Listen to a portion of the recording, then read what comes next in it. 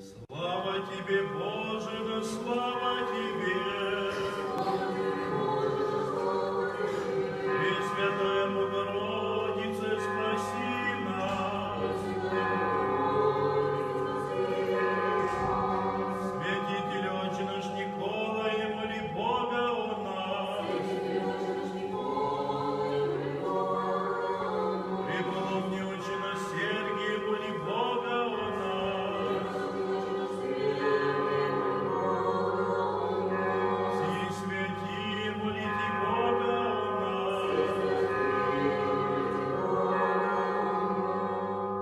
Во имя Отца и Сына и Святого Духа.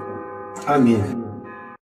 10 апреля. Священномученик Григорий V, патриарх Константинопольский.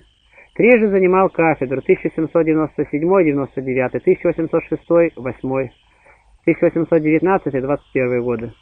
В то время Греция находилась под тяжелым турецким игом. Многие патриоты греки жили надеждой вновь завоевать государственную независимость. Они находили деятельную и авторитетную поддержку мужественного борца за свободу своей родины, святого патриарха Григория V. Его связи с греческими патриотами выяснились только после того, как Александр Ипсиланти перешел со своим войском реку Прут против султана Махмуда. Один из друзей святителя советовал ему бежать из Константинополя в Марею. Святитель отвечал на это. «Я предчувствую, что рыбы Босфора будут есть мое тело, но я умру спокойно во имя спасения моей нации». В день Святой Пасхи, 10 апреля 1821 года, святого патриарха схватили и повесили на воротах патриархии, а затем бросили тело в море. Греческие моряки заметили место, где было брошено тело святителя, нашли его и на корабле кефалонийского капитана Макри Склавоса под русским флагом доставили в Одессу. Там, в греческой Троицкой церкви, тело святителя было погребено 19 июня 1821 года.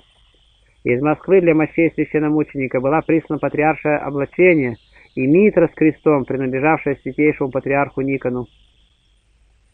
В 1871 году по ходатайству греческого правительства разрешено было перенести мощи святителя Григория из Одессы в Афины торжеству 50-летия независимости Греции.